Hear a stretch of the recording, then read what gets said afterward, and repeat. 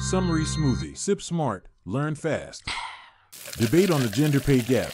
Interview with Jordan Peterson. 1. The interviewee, clinical psychologist and Professor Jordan Peterson, believes that men need to grow up and adopt responsibilities in order to find meaning in their lives and avoid becoming bitter and resentful. He argues that young men are not receiving enough encouragement to do so, and that his lectures have had a dramatic impact because they are starving for this message.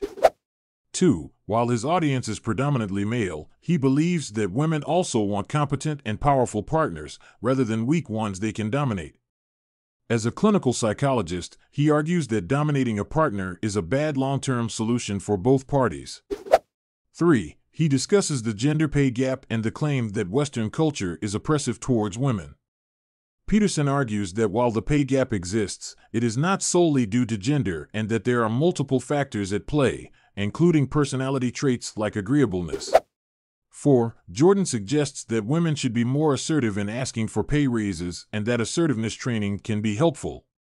The speaker also notes that eliminating the pay gap completely could have unintended consequences and may not necessarily be in women's best interests. 5. Peterson goes on suggesting that women often choose careers that are paid less or have children, which can limit their opportunities. He argues that women face a career and family crisis in their late 20s to early 30s due to societal pressures. 6. The interviewer, Cathy Newman, questions the Peterson's views on gender equality, with Peterson suggesting that equality of opportunity is desirable but equality of outcome is not achievable due to inherent differences between men and women. He also suggests that some women may not want high end careers like men do. 7. Further, the issue of equal pay for women is discussed and the challenges in determining what work is equal. Jordan Peterson argues that women face hurdles in their careers and need to be tough and formidable to succeed.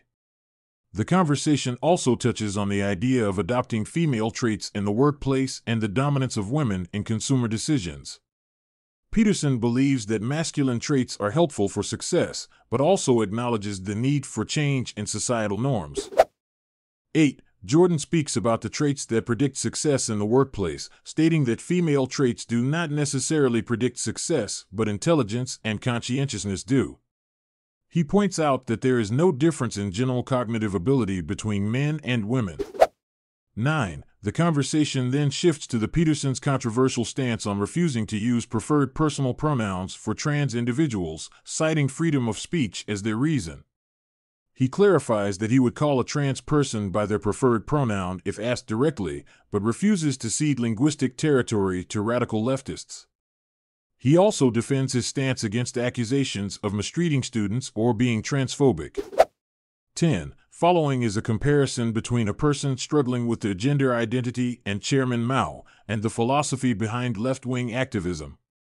Jordan Peterson argues that the philosophy of group identity being paramount is similar to that of Mao's China and the Soviet Union, and that hierarchical structures are not solely a sociological construct of the Western patriarchy.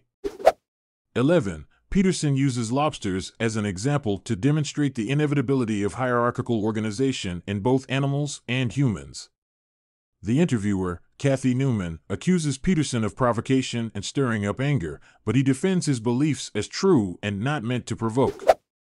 12. Jordan Peterson denies accusations of abuse and anger from his followers, stating that he has received 25,000 letters from people who claim he has helped them. He challenges his accusers to provide substantial examples before he can address their claims.